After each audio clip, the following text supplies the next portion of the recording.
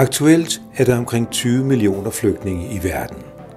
Af dem er 11 for tiden på Jyderup Højskole, sendt af Roskilde Kommune, umiddelbart efter at de har fået asyl til et 6 måneders højskoleophold med intensiv dansk. Sprog, kultur og samlivsformer, som de nogle gange er på en dansk højskole. Hvad? Synes I, det er en grim stol? Ikke grim. Ikke grim? Ikke Okay. grim. Godt. Ja. ja. En smuk stol. Mm. Godt. Grim. Ja, en grim stol. Grim. Mm. Grimme stole. De grimme grimme stol. De grimme stole. Lige præcis. Lamperne. Lampe. Ja.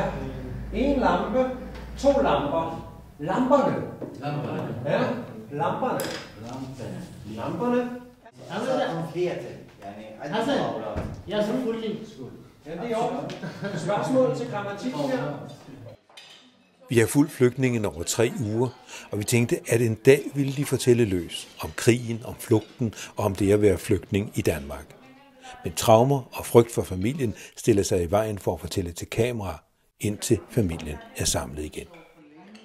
Det er jo en kreativ højskole, kan man sige, i form af, at det, der er elektronisk linje, der er sangskriverlinje. Øhm, og så det, der måske øh, gør sig synligt, det er, at der er flygtninge her, der er og lærer dansk. Øh, fordi det er jo to kulturer, der lige pludselig bliver øh, sat sammen. Og øh, der kan man godt mærke øh, øh, ja, kulturforskelle, kan man sige. Øh, for eksempel, når vi fester, så drikker vi øl, øh, og vi bliver fulde og tosset og se på sikkert.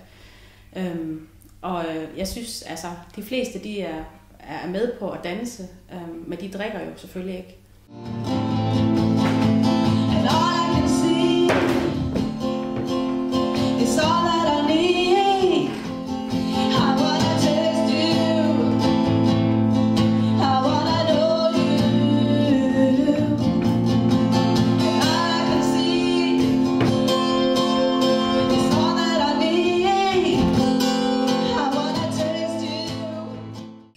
Ahmed sig eneste afghaner Hvordan på har du skolen. det i dag? Har du det godt? Han ejer 300 æbletræer, solgte både i Kabul og i Pakistan, men hans familie kom på kant med Taliban, og i dag sidder han i Danmark, mens konen er flygtet til Pakistan. Jeg er meget træt. Ja. Min lidt feber. Og lidt feber? Ja. Ja. Øh, sidste torsdag Ja. Havde du meget hovedpine. Ja. Ja, min meget lang til min hovedpine. Ikke endnu. Ikke ja. nu? Jeg kommer til Danmark, min hovedpine. Jeg kommer til Danmark 2013 januar til lidt, lidt hovedpine til. Ja. Og meget gå min til lærer. øjeblik, Og gå til uh, psykolog. Læg din hovedpine. Du må alt tænke. Flygtning på højskole, jeg vil sige, det er både en gave og en udfordring. Øh, Det er en udfordring, fordi de jo kommer med en helt anden baggrund og en helt anden motivation end de danske elever. Øh, De er i en situation, hvor de er blevet nødt til at flygte fra, fra, øh, fra der, hvor de egentlig allerhelst ville være. Ja, Så kommer de jo tit uden et dansk sprog, til at starte med i hvert fald, så, og meget er fremmed for den måde at være sammen på øh, øh, hvordan, øh, hvordan man indgår i sådan et lille økosystem, som sådan en højskole jo er. Så det er der helt sikkert nogle udfordringer ved. Men som sagt, så synes jeg også, det er en gave. Øh, det er også en måde for os at få verden ind i højskolen. Det er en gave til de andre elever. Og rent faktisk øh, få lov at møde nogle af de her mennesker, som vi hører om i medierne. Det er en gave i forhold til sådan en som mig, som synes, det er vigtigt at have politik med i højskolen og have samfundssind med i højskolen. Rent faktisk at have de mennesker, som vi snakker helt utrolig meget om, til stede på højskolen. De giver en anledning, både ved at eleverne selv snakker med dem, men også ved at vi kan snakke sammen med dem og om dem og om det med flygtninge og det med krig og det med klima og alle mulige andre årsager til, at man bliver, man bliver tvunget væk fra der, hvor man egentlig allerhelst vil være. I den anden uge bliver vi inviteret med på syrisk middag. Men ingen vil lade sig interviewe, selvom de har fortalt os om krigen, bomberne, ruinerne, flugten med båd over Middelhavet, med fly lukket inde i lastbil til Danmark. De er om nogen globale historiefortællere. Ikke så snart er de færdige med at spise, før de snupper mobilen for at tjekke nyt hjemmefra eller kalde familien på Skype. Men de slår billedet af sig selv fra på Skype. Ingen billeder af en selv. Spioner og stikkere har lange ører og øjne på stilke, også uden for de lande, de kommer fra. Syrien, Afghanistan, Eritrea. En dag dukker Khalil op. Afghaner af oprindelse, totalt integreret. Han er en fest. Men heller ikke han kan få syrerne til at sige noget foran kameraet. Taler I sammen? Ja, til at danse. Ja, ikke også? Ja, det er altså, du kan ikke tale afghansk, og han kan ikke tale tigrinja. Ja. Så I bliver nødt til at Ja, det- dansk, ikke? Er det ikke sådan? Ja. Hvad med dig? Hvad taler du? Jeg taler arabisk Ja. og kurdisk. Jamen, taler du arabisk med ham? Nej, jeg taler dansk. Ja, men det er man Ja. Hvad med jeg ham? snakker alle mennesker om dansk. Ja, du, du taler dansk med alle. Ja. Ikke, ikke Tigrinya, ikke Arabi, ikke. Kurdisk, ikke øh, Afghanistan. Ja. Det er kun dansk. Ja. Ja. Jamen, tanken med højskole, det er, Ja. tanken med, vores tanke med højskole er et sted, I taler meget dansk. Ja. Ikke også? Præcis. I møder en frivillig. Selvom, selvom der ikke, du siger, at det er frivillig kun i Nej. Roskilde, der er også frivillige her. Kommer Nej. og snakker med jer. Snakker de? Jo, jo. Ja, det er det, jeg siger. ikke? Så der er, der, er, der er mulighed for, at man kan tale dansk. Mm. Og så er det her, der er der 30 timer. Ja. Det skal I huske. Der er 30 hele ugen. Ja. I Roskilde desværre. Nu kommer I starte der, ikke? Vi har tre dages undervisning, ikke også? I kender samfundet nu. I kender danskerne. Ja. Du har nogle frivillige venner, jeg ved det på Facebook. Ja. Fordi der, der har du rigtig mange venner på din Facebook, det ved jeg. Ikke også? Der er I venner. Og så der ved jeg, at du siden dine venner fra Eritrea, de har rejst, nu du taler kun dansk. Ja, ja. Det er da rigtig godt. Ja. Ikke også? Ja. Hvis der er nogen, der, hvis nogen kommer og så taler arabisk med dig, så kan du sige, Ja. mig, mig ikke forstår arabisk. Ja. så taler du dansk. Ja. Altså. Og så er det Ahmad Zainer lige fra dag 1, der har sagt til mig, at han er alene fra Afghanistan her. Det er kun ham, der er fra Afghanistan. Så alle taler dansk med ham. Ja. Så det er noget Præcis. hjælp, som Præcis. kommunen har givet til jer. Det er den hjælp. Den næste, det skal I selv gøre. Hasko er syrisk kurder. Han er gået på højskole i Røding, er ved at afslutte 9. klasse på VUC i Vejle, og nu på besøg på Jyderup hos sin gamle dansk lærer Anders, sammen med sin bror, der også er kommet til landet som flygtning. Hvorfor valgte du at tage på højskole? For jeg valgte højskole. Fordi øh, en af mine venner, han havde på Oldum Højskole, og han han sagde til mig, at øh, højskole det er bedst for dig, at du lærer hurtigt dansk.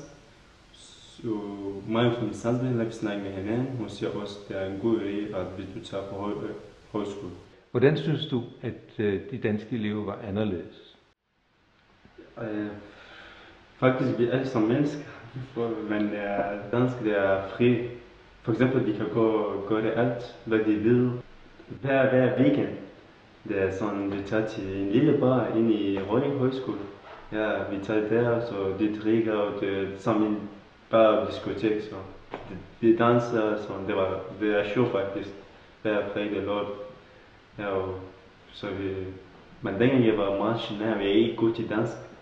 Så jeg kan ikke, når de snakker, så jeg ved ikke, hvad skal jeg svare. Ja, så jeg var lidt generet også. Ikke lidt, måske meget. Hvis nu du skulle fortælle din bror, at han skulle tage på højskole, Ja. hvad vil du så sige til ham? Jeg siger til ham, når du går på sprogskole, efter når du bliver færdig fra, sprogskole, eller sprogskole, ja, du må godt tage til højskole. Ja. For højskole, når du tager på højskole, faktisk du lærer, eller du lærer mere sådan sprog, du får mange venner, du kender sådan øh, danske samfund, eller mange ting i Danmark faktisk. Jeg synes, det er bedre, hvis han tager på højskole. Synes du, det er svært at lære dansk? Jeg til nu til, øh, lidt øh, til nu, jeg til gå til skole meget svært, fordi til Afghanistan, jeg ikke, ikke gå i skole. Så det er første gang, du går i skole? Ja, ja, ja, Wow. ja. Og i afghansk, ikke skriver og ikke læser. Ja. Ja. Jeg var dansk, læser og skriver. Så du skriver nu, Ja, og du kan læse nu? ja. Hvor længe har du været her? Or oh, six months.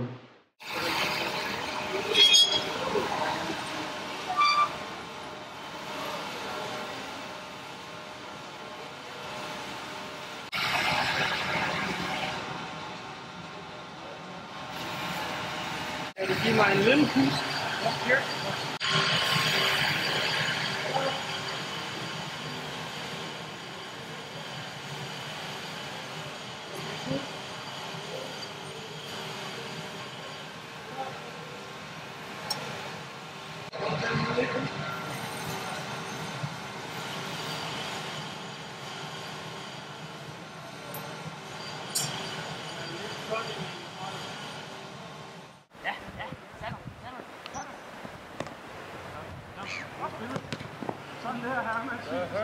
Der, er der modsat!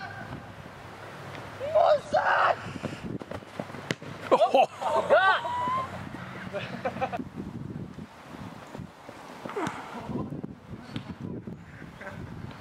Ui!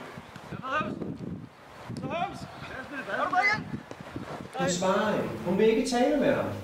Hun vil ikke snakke med ham. Hmm. Hvorfor kommer du ikke tilbage? Ja.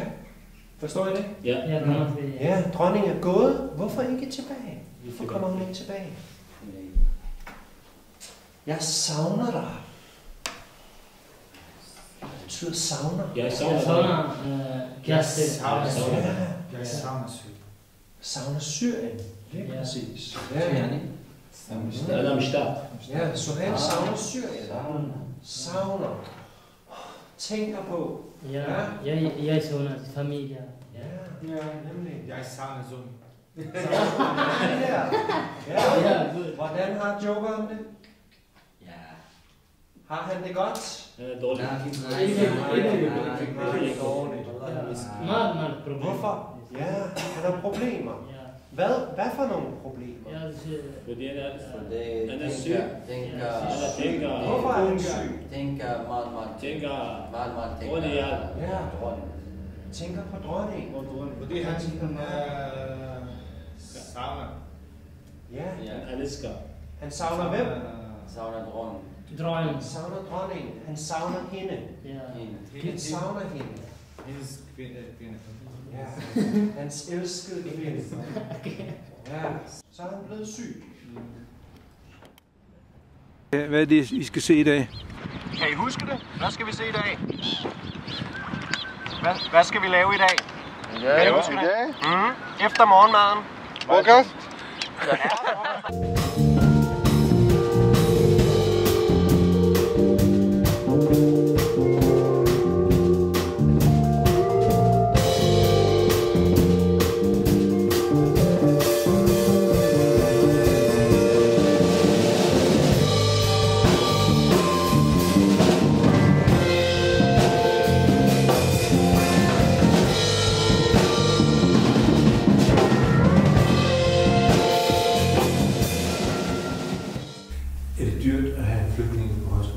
Absolut ikke. Slet ikke. Omvendt. Altså for os øh, i kommunerne, et hvert tilbud, et hvert øh, aktivitet på et halvt år, det vil koste omkring 30.000 kroner, måske 35-40.000 kroner. Men øh, sådan et højskoleophold, det vil koste os omkring 16-17.000 kroner. For knap fire år siden blev jeg statsminister. Der er valg. Forstanderen er i sit S. Højaktuel samfundsundervisning med prøvevalg. Budgetterne skred år for år. Jeg har fra dag et haft et klart mål at bringe Danmark ud af krisen med vores solidaritet og ordentlighed i behold. Jeg synes, alle mennesker har et ansvar øh, for de flygtninge, der er øh, i verden. Og vi prøver her på Jyderup Højskole at gøre, hvad vi kan. Og det er at lave et forløb, der på bedst vis integrerer dem i det danske samfund. Det er højskolen rigtig god til. Højskolerne har altid haft en god opgave i at integrere og dygtiggøre mennesker. Det er uanset om de kommer fra samfundets laveste lag eller hvor som helst, så er det et sted, hvor vi mødes. Vi har nogle kreative fag, og det er med til at åbne op. Alle sanser bliver åbne, når man arbejder med kreativitet. Om det er musik, om det er maleri, grafik eller hvad. Og det åbner også deres kreative år op, men det åbner dem også op over for andre mennesker. Og det er det, der er brug for, når man står i en situation, som de står i. Hvad for nogle fag skal du op i? Dansk og matematik. Og engelsk og naturvidenskab. Ja. Svært? Det er svært. Ja, det er svært mig. Ja. Men du tror, det går? Det er godt, selvfølgelig. Hvad vil du lave, når du er færdig med din VUC-prøve? Jeg, jeg tager på et tidspunkt, det er teknisk design. Ja, det tager cirka to, to halvår til tre år. Har du en fætter? Ja, min fætter. Han bor i Roskilde. Taler han dansk? Ja, han er til dansk. Har han arbejde? Ja, han arbejder i. Øh, I Bær.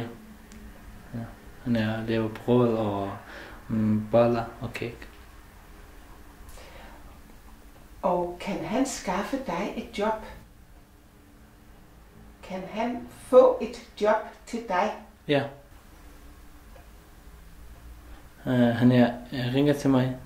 Du Ahmad sagde, uh, arbejde, ja, arbejde i hotel. Du vasker op og ringer. Ja.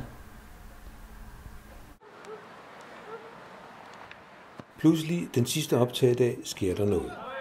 Suhai, uddannet IT-ingeniør, lukker op for posen, og senere gør Allan, der er syrisk kurder, det samme.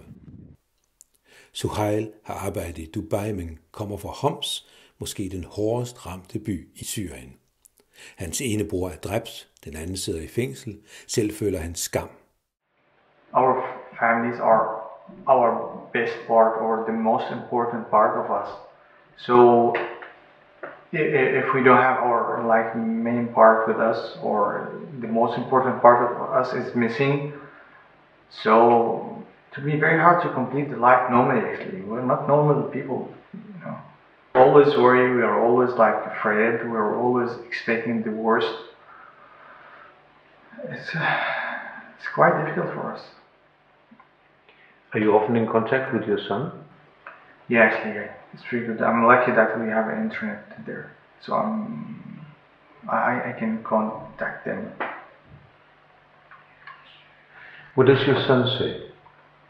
My six years old son, once he asked me, like, why did you leave us?